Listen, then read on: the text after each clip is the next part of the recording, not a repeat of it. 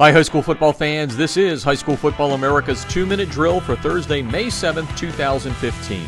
I'm Jeff Fisher. The High School Football America two minute drill is brought to you by Echo 1612. Coaches gain a competitive edge by adding Echo 1612's instant replay sideline system to your coaching toolbox. Echo 1612's cutting edge technology helps make tomorrow's adjustments today. Learn more at echo1612.com.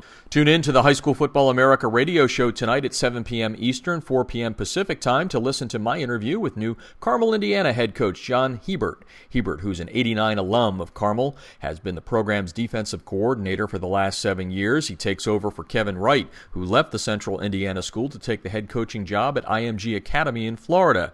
Hebert says he will continue the tradition that has led the Greyhounds to seven state titles. Walking into this uh, role, this new role, um, I, I I really want to maintain the culture that we have and and really just try to bring people even closer together. You can hear my entire interview with Hebert at 7 p.m. Eastern, 4 p.m. Pacific at highschoolfootballamerica.com and on the Artist First radio network. In North Carolina, the state's high school governing body has joined the growing list of states limiting full contact and practice. Starting this season, high school teams will be allowed 60 minutes per week of what is defined as live action, which constitutes full tackles at a competitive pace and taking players to the ground. And finally, don't forget to check out our coaches job board with over 350 active coaching openings in one spot where you can e-shop for your next high school football coaching job. The High School Football America 2-minute drill is brought to you by Echo 1612. Get a $100 discount on your order by mentioning High School Football America to Echo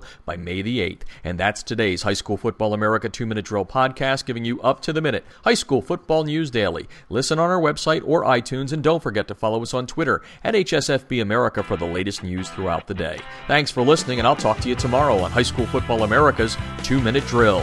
I'm Jeff Fisher.